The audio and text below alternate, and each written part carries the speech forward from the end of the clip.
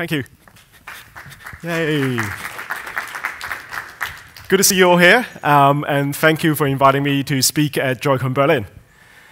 Um, so, as the introducer have said, my name is Hoi Lam. Uh, I'm the lead developer advocate uh, for uh, Google on the Android Wear project, and you can follow me on Twitter uh, at HoiTab. Um, and also, if you want to hashtag anything, then you can hashtag Wear, and also hashtag, of course, uh, droidconDE or droidcon Berlin. So, um, first, uh, the first questions I get quite a lot is, you know, how is Wear going? Um, and I'm very pleased to say that um, during the holiday season last year, we're seeing over 70% growth uh, in activation uh, for Wear devices. Uh, and that's even before uh, we've launched Android Wear 2.0.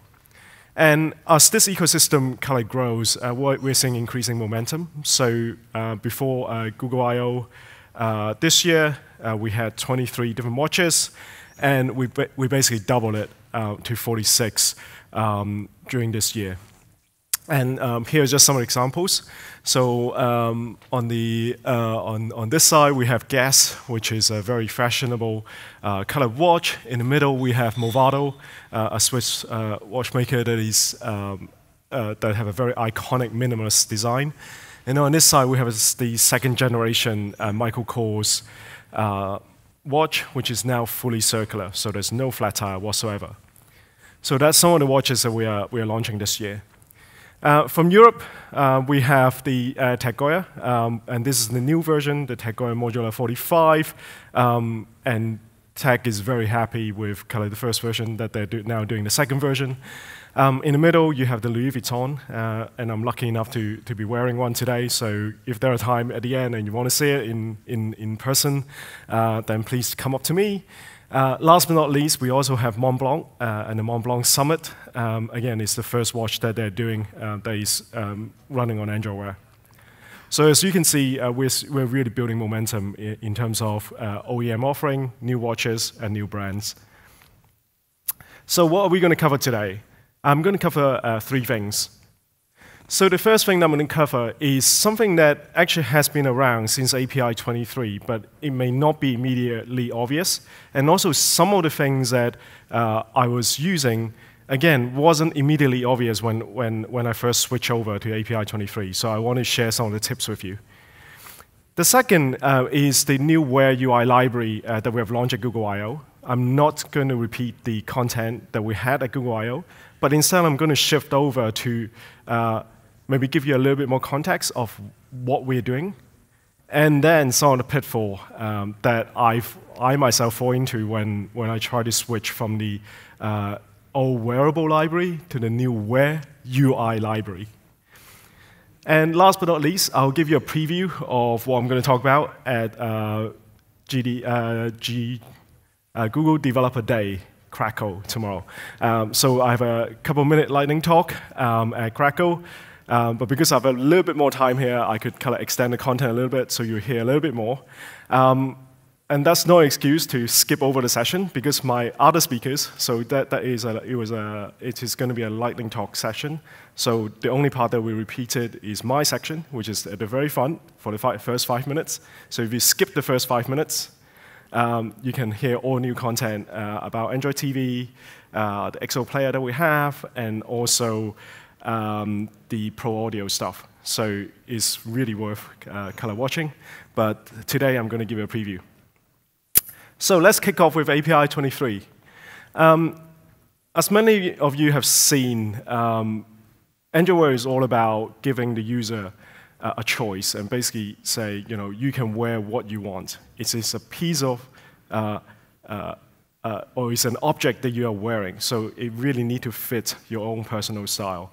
And unsurprisingly, a lot of our users are going overwhelmingly uh, towards a circular uh, design. And they find it comfortable to wear, they find it actually fits much better to their fashion sense. So um, it, is in, it is really important that developers take care of this new uh, screen form factor. Of course, if you do nothing with your Android app, this is what it will look like. Um, so if you look at the uh, red uh, square, essentially that's the area that Android will try to lay out all the components that you have. Um, it will treat it like a square, and um, so if you have things that are top line or bottom line, they will just uh, they, they might be cropped uh, on the side there. And the simplest thing to do uh, since the beginning of AndroidWear is to uh, put what we call a box inset layout uh, in it, and then what it does is it group uh, all the components uh, to the inside square of the circle.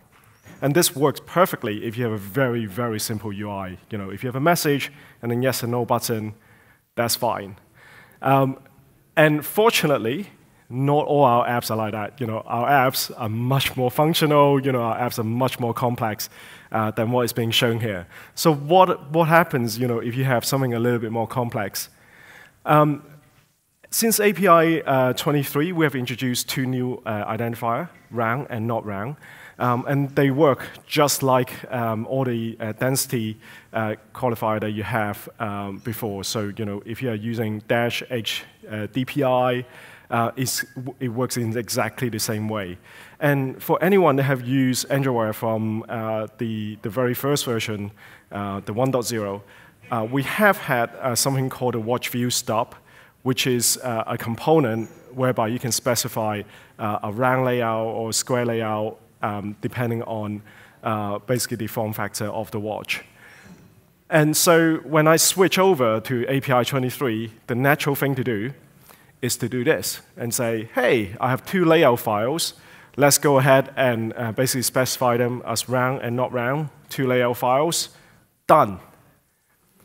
And then as I iterate on my project, I then realize, wait a minute, you know, maintaining two layout file is a pain.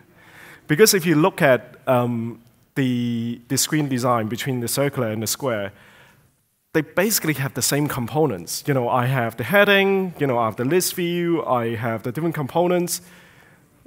I don't change color the elements uh, between round and square. So why should I have two layout files? Because they will just look exactly the same. What I then realize is, actually, the thing that is changing between the two layout are the paddings. So all I needed to do is to actually have one single layout file, but have two different dimension files for round and not round.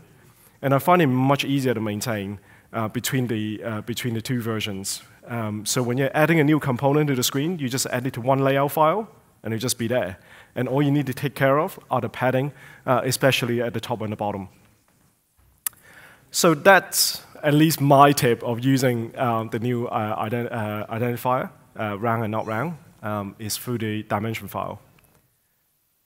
Next, the chin. So um, Fortunately and unfortunately, some of the watches does have a chin at the bottom, uh, which is the uh, black area that's being shown here.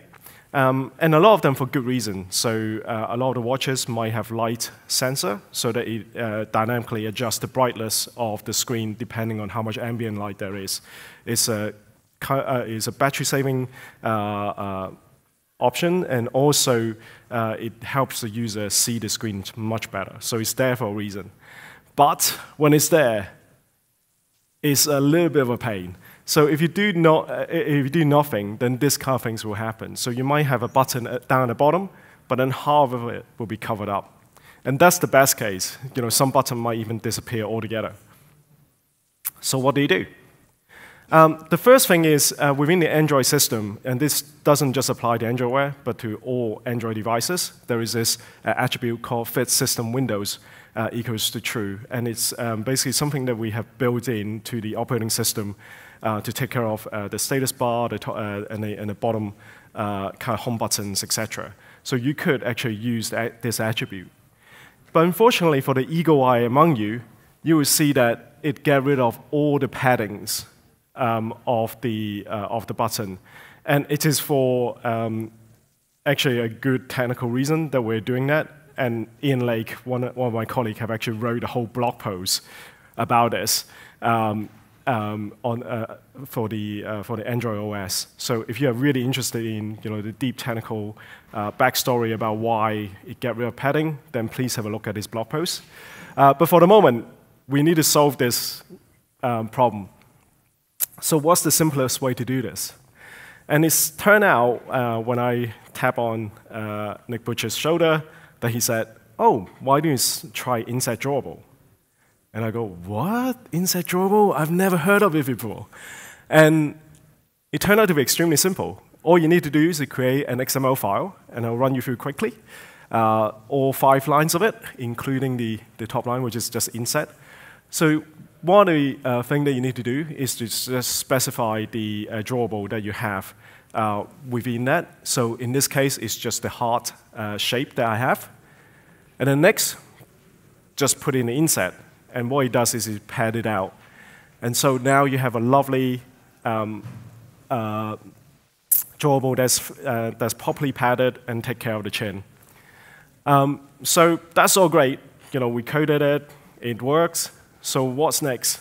Um, one of the things that um, developer asked me is, hey, with all these variety of Android devices, should I go out and buy all of them in order to test it? So it really depends, because if you like your watches and you want an excuse to go out and buy all your watches, then fine. Go out, you know, talk to your boss and say, hey, boss, you know, I really need six different watches. I, I need to, you know, use the corporate account in order to do that to test it properly. Fine, you know, you go ahead and do that. But if you're a little bit, you know, uh, strapped for cash, you know, if you're just testing out a, a startup idea, um, etc., um, we have actually put up um, all the different screen um, combinations that we have um, as emulator uh, images um, in Android Studio. So all the different configurations that is in the market, it is uh, in, in, in this. in fact, um, I think about a year ago, we even put up images of watches that was to come. And we go, oh my God, have we just leaked uh, some information? Um, and luckily, uh, it turned out to be fine. Um, but uh, yeah, this is the one place to basically have a look and see uh, all the different screen uh, configurations that we have in Android. So next, the Wear UI library. Um, this is something that we have launched um, at Google I.O. as a beta, and now it is actually a, a finalized version, so you can use it in production. Um, and what happened previously is um, we uh, iterate very quickly, and we uh, and we and we built it up uh, relatively fast uh, under a uh, closed source library called Wearable, and it includes other components in in Android um, but as the platform matures, we actually graduated it to, um, to uh, become a component of the main Android support library. And you might ask us, you know, why are you doing this? You know, why are you kind of putting time um, into moving essentially a class to another? Uh, first thing is, is not as simple as that um, because uh, we, are, we, we actually also took the time to review uh, how the developer community have used those classes and, and, and see basically how those classes are interacting uh, all together. And also, by moving to the main support library, there are uh, a couple of advantages. So the first one is you can expect much more frequent update. So previously, um, the library update was tied to uh, OS updates, so they're much more infrequent, you know, maybe once a year, maybe once every six months. Uh, but now, uh, because support library kind of rolls out once every four weeks, once, once every six weeks, then you know, we can be much more, more responsive uh, to your feedback, especially around bug fixes. Um, so that's the first thing. The second thing is uh, the naming consistency. Uh, when we were uh, a separate project, uh, we basically name things whatever we like, and that turned out to be a bad thing um, when you're when you're you know really skilled in using the Android support library. So by bringing it together, we increase the naming consistency. Um, but there's a little bit of a catch because if you have used uh, Android Wear 1.0 and the, and the, and the, and the uh, previous version of the support library, then you know, some of the methods will change, but they tend to be a one-to-one -one, uh, kind of mapping. Uh, last but not least, it is now open source. Uh, so people have been asking me, you know, hey, can I have a look at your code? You know, what have you done uh, to my view? Um, and because we're now part of the Android support library, there is a whole open source uh, process around it. So you should be able to now uh, you should now be able to check it out from uh, GitHub and um, see what we have done. And all you need to do uh, in order to use it is by just adding this line into Gradle. Um, the, and from the keynote, I've just checked, it is now 26.0.2 uh, if you wanted the very, very, very latest version. Um, sorry about that. Um, a typo. Next, um, so what have we done uh, with all the classes? Um, there are three things that we have done uh, with the classes. The first is to migrate. So um, a lot of the classes we just took uh, from, the, uh, from the old package and moved it to the new package. Change some of the naming in order to make it uh, consistent. And those naming are mainly around uh, the, the method names and attribute names. So an example of this will be the box inset layout. That thing that I showed you earlier where you know, it groups the, all your components to the center of the square. That's one of the classes that we have migrated. Um, the second one is merge. Um, so in the previous version of the uh, of the Wear library, we have wearable recycler view and we have wearable list view, and developers is going, hey, which one should I use?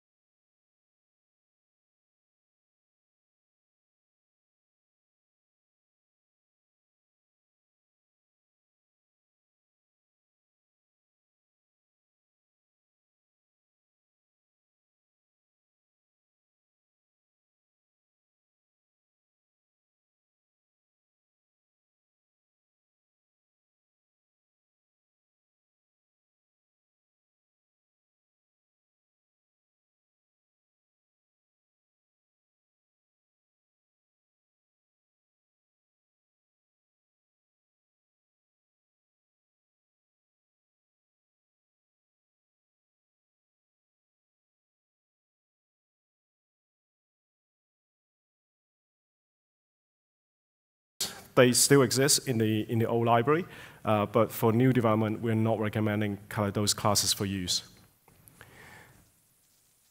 And in terms of package name, it moved uh, from uh, wearable view to wear.widget. Um, so that's the namespace change.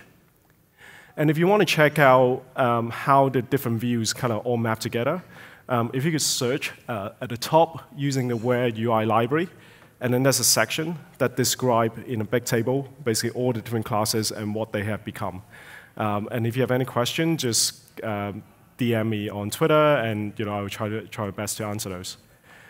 So that's kind of an overview of what we have done. And um, what I want to do is to uh, dive a little bit deeper into some of the uh, some of the things that uh, I find, at least when I was using some of the classes um, that is within the UI library. So the first thing is, although I said, hey, the box inset layout is really simple, when I change it to the new library, this is what my view look like. And I go, oh my God, what is wrong? And there was no error from um, Android Studio whatsoever. And I go, oh, come on, you know, this is supposed to work. So I actually raise a bug against my team.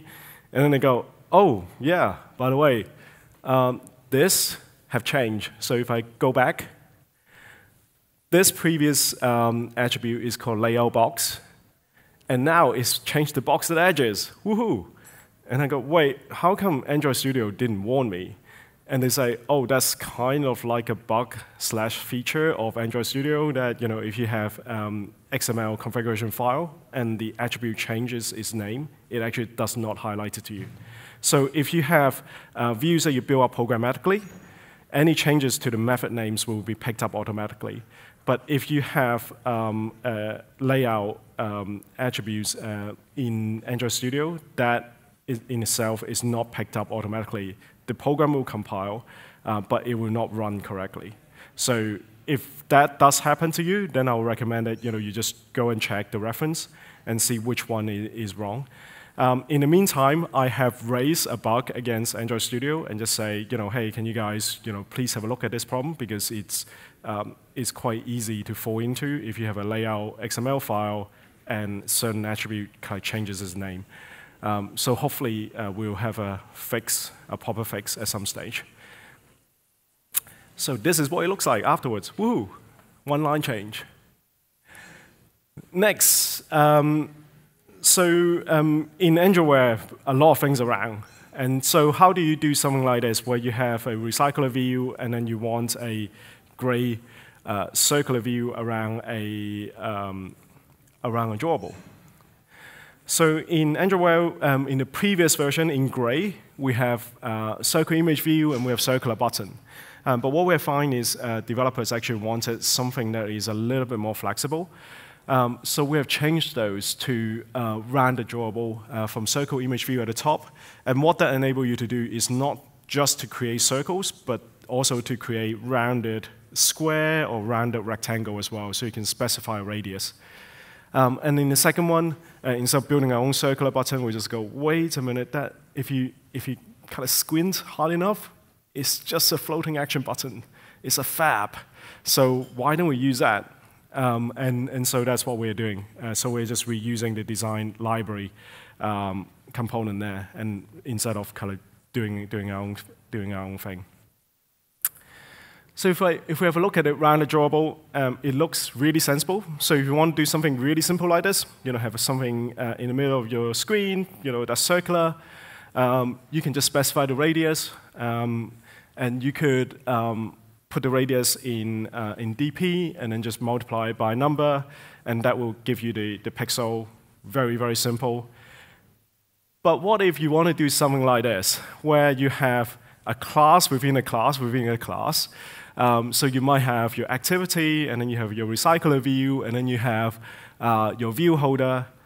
And in the radius, you can't actually get access uh, to the resources. So when you're doing that, you can find, you can hard code it, not recommended. Um, or what can you do? Um, so one of the um, way to get around that in this instance, if you if you just want a circle, uh, is by setting it to the maximum uh, integer, and the system will take care of it. Um, so if you set the radius to uh, a ridiculously large number, um, we will basically work it out and, and become a circle. And this is the kind of thing that, um, the kind of feedback that we really want to hear from you, where you go, hey, in certain instances where I'm using your class, I'm having difficulty in doing certain things. Can you tell, you know, can you tell me how to do this? And some of this um, might have an answer already. So like this, we have an answer, and we'll probably need to update our documentation to just tell developer that, you know, hey, set your radius to maximum, and we will take care of it for you. Um, or you know, maybe there are certain use cases that we're not taking care of in real usage um, that we should be taking, uh, taking a look at. So please do um, kind of let us know if there are uh, instances that are like that. Um, this library is relatively new. Um, it literally just went final, uh, I think, back in August. So um, yeah, just DM me um, with any comments or any questions that you have with the Wear UI library. So, this is a preview of tomorrow's talk. Um, some of it is um, not strictly UI, um, but a lot of it is to do with a larger uh, kind of UI pattern. So I hope that you know you will uh, you, you will see some benefit. And some of the advice is not just for Android Wear, but for any uh, IoT project that you may be doing. So the first thing is, uh, actually, the first point is related to Android Wear. Um, tell us if your uh, Android Wear app is standalone. Um, so since uh, 2014, when we uh, launched Android Wear, we have um, a couple of ways that you can connect uh, the watch to the phone. Uh, the first way that we launched with was uh, Bluetooth, that's like the table stake, and then subsequently we've added Wi-Fi and LTE uh, to the mix. And with Android Wear 2.0, uh, you no longer need a component on the phone, and you could just send HTTP requests directly from the watch. And what we will do is on the watch, we have a proxy, and we will work it out automatically, uh, which route it should take. Um, so, you know, if it is connected to the phone, and the phone have good kind of Bluetooth connection, um, then we'll just use the phone. Or alternatively, if the phone is not around, we'll switch on the Wi-Fi and, and, and basically deal with it from there.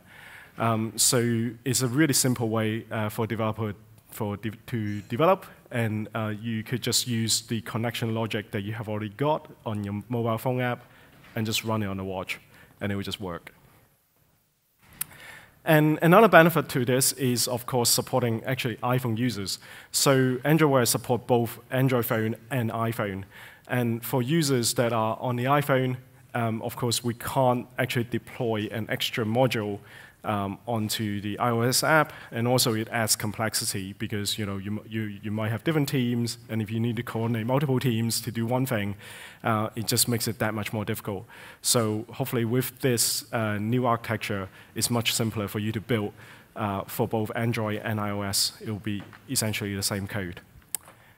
Last benefit, but not least, is that we have now got the Play Store on the watch. So you could actually, um, the user could actually download your app directly uh, from the watch itself in Android Wear 2.0. Um, so what do we need in order to end up on the Play Store on the watch? Is um, adding this little metadata tag. So you need to tell us that your uh, um, Android Wear app, so this will be the, in the Android manifest of your Wear uh, app, in your Android Wear app. Uh, you need to tell us that the app itself is standalone and equals true, then we'll go ahead and put it onto the uh, Play Store on the watch. Um, the reason why we're doing this is uh, just in case that your, uh, your app have certain assumptions built in um, in terms of relying on the, on the phone uh, app uh, to do certain things. Um, that's why we are kind of building it in, in such a way. If you have feedback on, on this, um, then we would love to hear it. Next, uh, standalone architecture. So um, another question that I get asked quite a lot is, you know, how should I, you know, architect my uh, application not just for Wear, but for all the different form factors? And, you know, we have all been there, and this is the normal diagram that you have seen in a lot of conferences, including ours, actually, um, where we go, hey, we all know model view controller. The problem has been solved. You should just kind of put the model and you know, put all the display logic on the device solved. You know, this has been solved for 10, 15, uh, yeah, don't worry about it. it. will be fine. It will just work out. Um,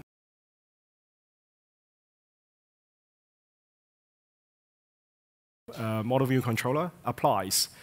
But when you actually, uh, there are some very I play, and hopefully I'll go through a couple of those uh, with you. So today, um, with, uh, as, you, as many of you know, the, uh, the world is very much a phone-centric world. Well, but what we're seeing is that users have increasingly um, added different devices, really use the different devices for that use case. And um, uh, trapped that uh, developer quite um, mobile first and one of the things I'm doing for mobile the phone number. And that's fine to a certain extent, but what happens is when you take a phone number, then it's uh, very easy to then make the assumption that the user only have one device. And I've seen time and time again that when we, uh, when we go to uh, a developer and they're saying, hey, I'm really interested in developing a standalone Android Wear 2 app, um, can you tell us how can we get around this?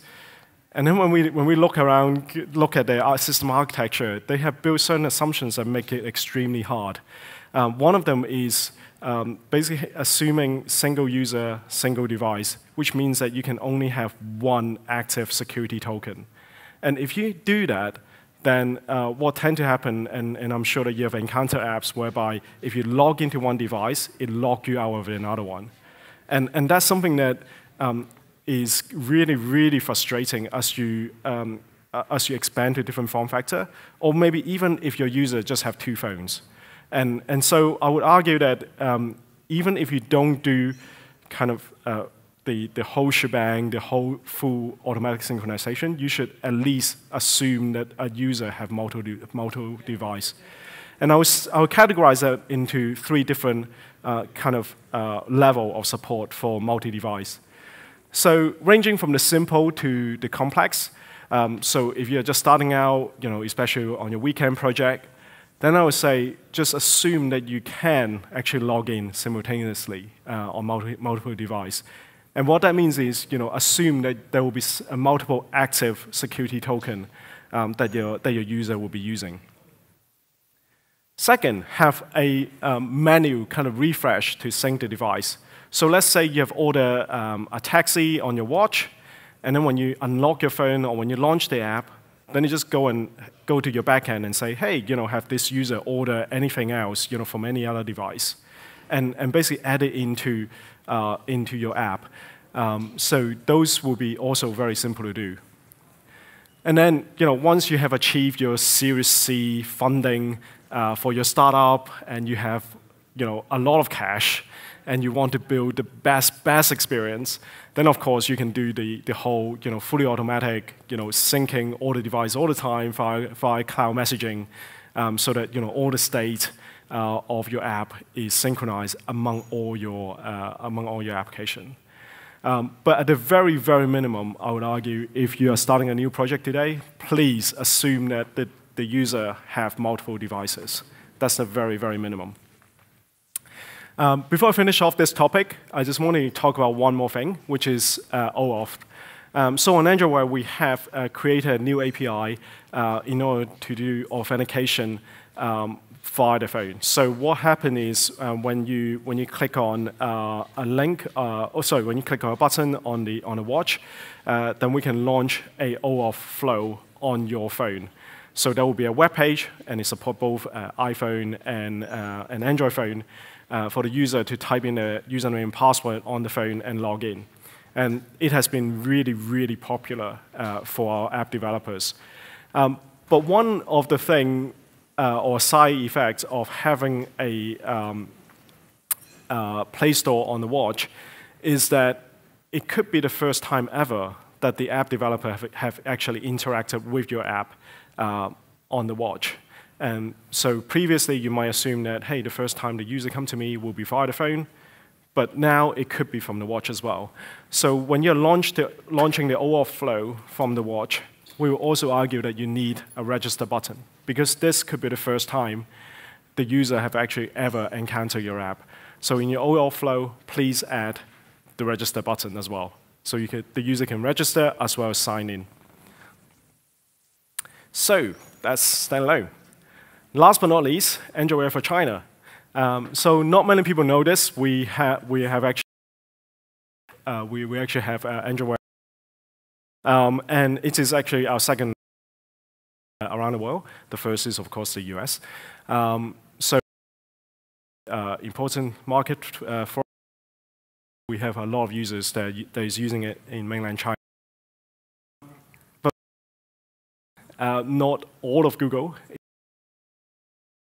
um, so before you um, uh, use any of the Google Play Services API, you will really need to check um, that they are available. Um, to be honest, these are good practices anyway, but just want to highlight um, kind of the two ways you can do this. Um, the first one is an all or nothing kind of way. So you could, when you connect, and if the connection fail, you can detect uh, whether the uh, error code is because the particular API that you're requesting is not available. Um, so th this works really well. If you have uh, five APIs and they all need to work together, um, then please do check that using this way. Alternatively, you might have uh, five different APIs, and if three of them work, you know, your app will still run.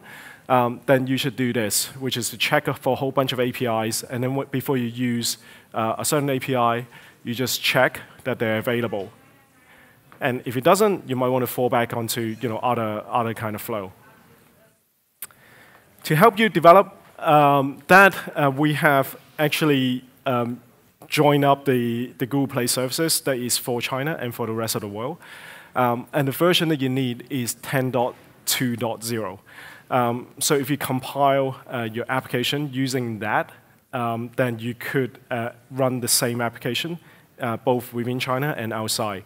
Um, and important, well, two important things to note is one, if you don't use any of the services that is on the screen, so you don't use Google Fit, if you don't use the fused location provider, and you don't use the Wear data layer, you actually don't need to include it at all. Um, and it's just there if you need to uh, use those services. Um, and then the uh, second thing is, um, especially around the fused location provider, if you do um, use location on Wear, then please use this. Um, because what it does is, uh, behind the scene, again, just like selecting the best connection, we also select the best provider of location for you. So let's say the watch is paired to an iPhone, then we'll use the iPhone Core Location. uh, to feed this particular API. Uh, if it's paired to the Android phone, we'll use that. Or if the watch is disconnected, but it has a GPS chip within inside, then we'll use that as well. So we, we do all the logic for you, um, as well as doing all the battery optimization. So if you are using a location, highly, highly recommend that you use the Fused location provider. And in order to uh, help you test it uh, without having you kind of pay for a ticket and go to China and, and test your app, um, we also have the uh, Chinese version of the emulator available uh, from Android Studio. Um, so you could actually test, you know, how your app runs uh, against that uh, against the China version of the Google Play services.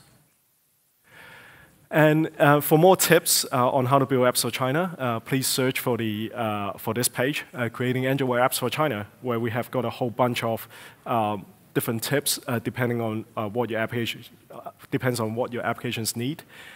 just jump to that section. And with that, just to summarize, API 23 with the round and not round is incredibly powerful. Please do try it out.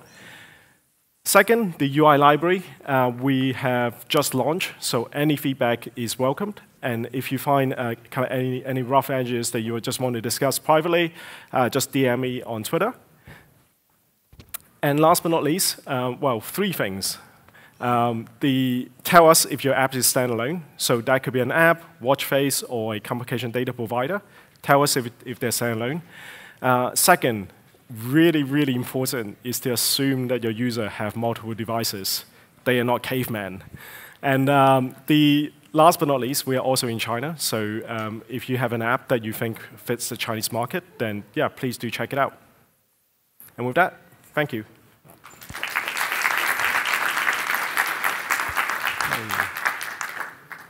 Do you have time for questions? Uh, I think we have uh, a couple of minutes for questions. So if anyone has a question, there is a microphone there.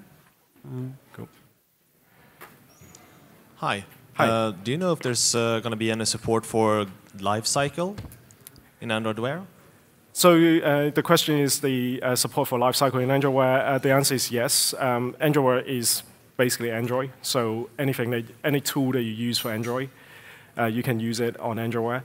Um, the yeah. So the, the only the only thing that I would I would say is around maybe the difference is more around the uh, Google Play services or the Firebase library that you know maybe not all the functions are supported there because of uh, UI that they might need. But for things like lifecycle, it should just work.